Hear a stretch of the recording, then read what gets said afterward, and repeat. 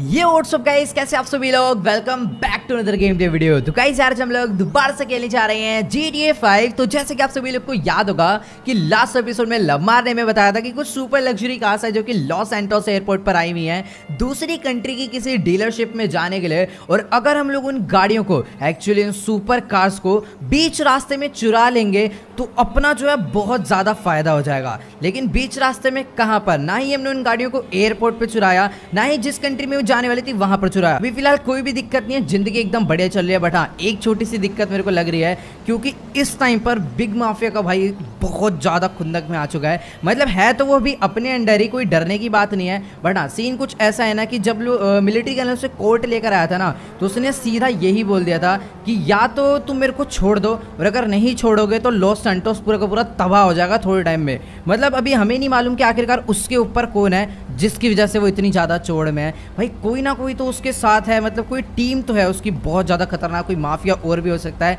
But last जो मेरे को पता था भाई, वो यही था। अभी तक मुझे नहीं लगता था कि इससे बड़ा कोई और भी माफिया यहाँ पर होगा। भी फ़िलहाल आप लोग यहाँ पर देख पा रहे हो, एक से बढ़कर एक गोल्ड कार्स अपनी मैंने यहाँ पर लोड करा लिया ट्रेलर पे। एक्चुअली सीन क्या आपको पता होगा लेस्टर ये सारी गाड़ियाँ खरीद के लाया था। मतलब जो उसने स्टैचू भेजा था, उसके बदले पैसे नहीं मिले थे, गाड़ियाँ मिली थी। अभी फ़िलहाल लेस्टर कह रहा है कि जो गाड़ी है ना, एक जगह डिलीवर कर कर आनी है, वो बंदा इसे दूसरी कंट्री ले जाएगा और बाद में जब ये गाड़ियाँ बिक जाएगी ना, उसके आगे पेमेंट कर देगा। अब ट्रस्टेड बंदा इसलिए जा रहे हैं, बाकी भी फ़िलहाल मैं अकेले जा रहा हूँ, थोड़ी बहुत दिक्कत ये लग रही है कि बीच रास्ते में कहीं लोस्ट गैंग के बंदे ना मिल जाए, क्योंकि फिर गोल्ड कार का जो नुकसान होगा ना भाई, वो मैं बिल्कुल नहीं देख पाऊँगा। तो अगर मिलेंगे तो मैं सीधा भागूँगा। बाकी मेरे को अपने साथ में यार अंडर वाटर माफिया वगैरह को लेकर आना चाहिए था।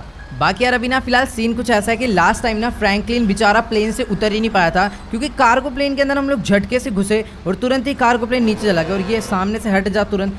भाई, सामने से हटने के लिए बोल रहा हूँ तो और सामने आ गई। मन तो कर रहा है इसके ऊपर चढ़ा दूँ बट यार क्या करें? इन्हीं लोग का घर है इतना बड़ा। हम तो यहाँ पर सिर्फ़ इनका गैराज यूज़ करने आते हैं, वो भी फ्री में। तो चलो कोई नहीं भी जल्दी से हम लोग अपने ट्रक को यहाँ से बाहर निकालते हैं। बाकी यार, ये जो गेट है ना, इसके घर के मेरे को सच्ची में काफ़ी ज़्यादा बेकार लगते हैं। माइकल के घर के आपने गेट देखेंगे चुटकियों में खुल जाते हैं जाते ही। बट यहाँ पर सेंसर ही नकली वाले हैं फिर पता नहीं क्या सीन अबे भाई, इसको क्या हो रहा है यार? ये पागल लड़की है क्या भाई? ओ ओ ओ, एक सेकंड भाई, यार ये गोल्ड कार्स को ट्रेलर में ले जाना भाई काफ़ी ज़्यादा बाकी चलो कोई नहीं, फ़िलहाल जल्दी से हम लोग अपने ट्रक को अबे हटा लो भाई, दो मिनट गाड़ी।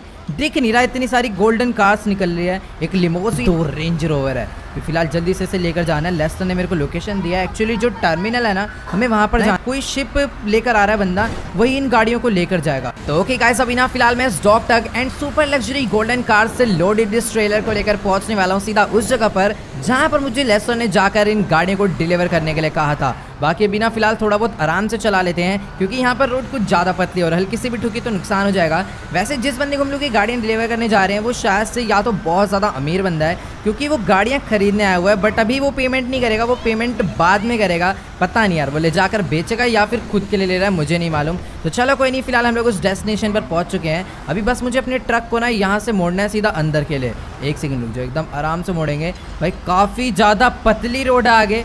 तो वैसे नहीं यार इतनी भी ज़्यादा पतली नहीं है ठीक है। जल्दी से हम लोग इसे अंदर लेकर चलते हैं। और कितनी ज़्यादा बढ़िया लग रही है ना यार, ये पाँचों कार ना कसम से बहुत ज़्यादा सही लग रही है। और मन नहीं कर रहा भाई इन्हें बेचने का बट क्या करें, पैसों की हमें बहुत ज़रूरत है, क्योंकि अपना शोरूम भी तो भरना है। फ़िलहाल जल्दी से हम लोग यहाँ पर एक सेकेंड ये जो बंदा है मेरे को थोड़ा बहुत जाना पहचाना सा लग रहा है। याद करो, ये हमें लिबर्टी में मिला था। इसी से हमने वो ग्रीन वाली कार खरीदी थी। क्या नाम था, मैं नाम भूल गया, आप लोग कमेंट में बताए। बाकी यहाँ गाइज़ ये कह रहा है कि गोल्डन कार से अपनी याच पर लोड करवा कर ले जाएगा, नीचे पूरे का पूरा एरिया गैराज टाइप बना रखा है, वहीं पर सारी गाड़ियाँ लोड हो जाएगी और तीन चार दिन में जब ये सारी गाड़ियाँ बिक जाएगी, उसके बाद हमें कॉल कर देगा, हमें लिबर्टी आकर ही पेमेंट ले लेनी है। तो चलो यार, काफ़ी ज़्यादा बढ़िया है। और गाइज़ ये कह रहा है कि ये ना सबसे बड़ा डीलर है वर्ल्ड का। अब भाई, बात तो बिल्कुल सही लग रही है क्योंकि चार मतलब कि इतनी सारी गाड़ियाँ चार दिन में बेच देगा, वो भी गोल्डन तो बहुत बड़ा ही डीलर होगा। बट कोई नहीं भी फ़िलहाल हमें भी इतना बड़ा डीलर बनना है। अभी तो फ़िलहाल एक गाड़ी चुरानी पड़ेगी आगे जाने के लिए, क्योंकि अभी हम इतने बड़े डीलर नहीं है कि हम लोग एक ड्राइवर रखें और याच में घूमें। तो उतना बड़ा डीलर बनने के लिए बहुत पैसा चाहिए होगा।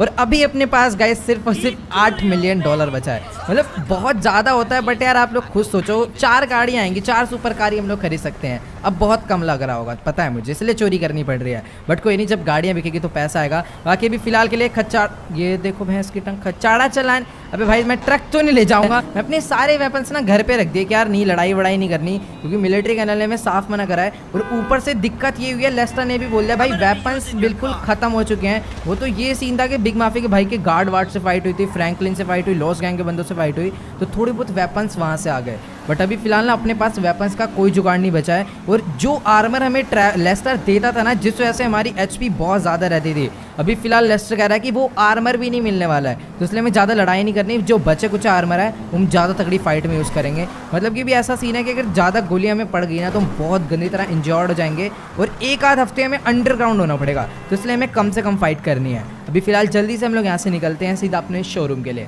तो ओके गाइस अभी ना फ़िलहाल मैं अपनी गाड़ी लेकर अपने लग्जरी शोरूम में पहुँचने वाला हूँ और आज मेरे को बैनी ने इसलिए बुलाया कि जो हम लोग कल छह गाड़ियाँ चुरा कर लाए थे ना, उसमें से दो गाड़ियाँ बिक चुकी है तो उन्हीं की ना डिलीवरी करनी है, जिसमें से एक गाड़ी का सीन कुछ ऐसा आपको याद होगा जो बुगाटी है, उसका गेट टूट गया था। तो बैनी कह रहा है, वो जो गेट अपने पास नहीं है तो वो गेट हमें कहीं से लेकर आना है, उसके अंदर लगाना है देन उस गाड़ी की डिलीवरी करनी है। और फिर देखो, अपने शोरूम से ना गाड़ियाँ आते बिकने लग जाती है, जिससे हम लोग दबा के पैसा कमा सकते हैं बट अपने पास गाड़ियाँ नहीं है। और गाड़ी लाने के लिए चाहिए पैसा और हमारे पास सिर्फ़ आठ मिलियन डॉलर है। तो इसी तरीके से गाड़ियाँ बेच बेच के और गाड़ियाँ ला ला के ना, हमें इस आठ मिलियन डॉलर को आठ सौ मिलियन डॉलर बनाना है। तभी हम लोग एक अमीर आदमी बन, जो बुगाटी है ना, ये एक लिमिटेड एडिशन व्हीकल है और इसके डोर्स मिलना इतना ज़्यादा आसान नहीं है। पर हाँ प्लेटो में एक ऐसा बंदा है जो कि इस टाइप का आलतू फालतू का सामान हमेशा अपने पास रखता है तो हो सकता है उसके पास ये मिल जाए और अगर मिल गए तो ये जो गाड़ी है ना टेन मिलियन डॉलर की बिक सकती है। मतलब इसकी real cost two million dollar ही है, पर फिर भी पता नहीं कौन बंदा है ज़्यादा अमीर है जो कि इस गाड़ी को इतना महँगा खरीद रहा है। बाकी ये अपनी है लैम्बोगनी जो कि दूसरी गाड़ी में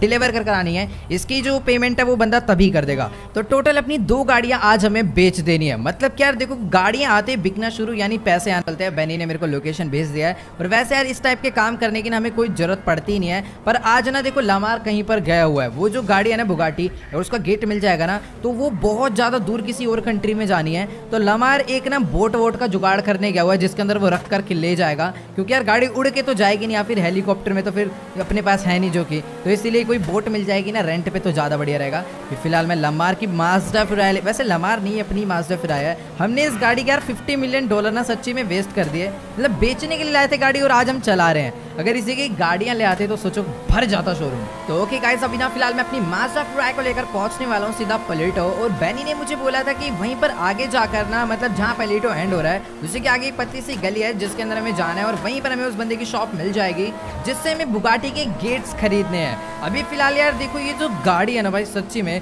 इस पूरे हाईवे पे मैंने पूरी स्पीड में चलाई है, उसके कंट्रोल्स भाई बहुत ज़्यादा बढ़िया है, बहुत स्मूथ कंट्रोल्स है। भी फ़िलहाल यहाँ पर प्लेटो एंड हो चुका है। तो चलो गाइस आज की वाली वीडियो में इतना ही। अगर आपको ये वाली वीडियो अच्छी लगी तो फटाफट से इस वीडियो को जाकर लाइक कर देना। इस वीडियो पर मैं एम करता हूँ काफ़ी ज़्यादा दिनों बाद वन मिलियन लाइक के लिए। तो सभी लोग जाओ जल्दी से लाइक का बटन दबा के गोल कंप्लीट कर दो।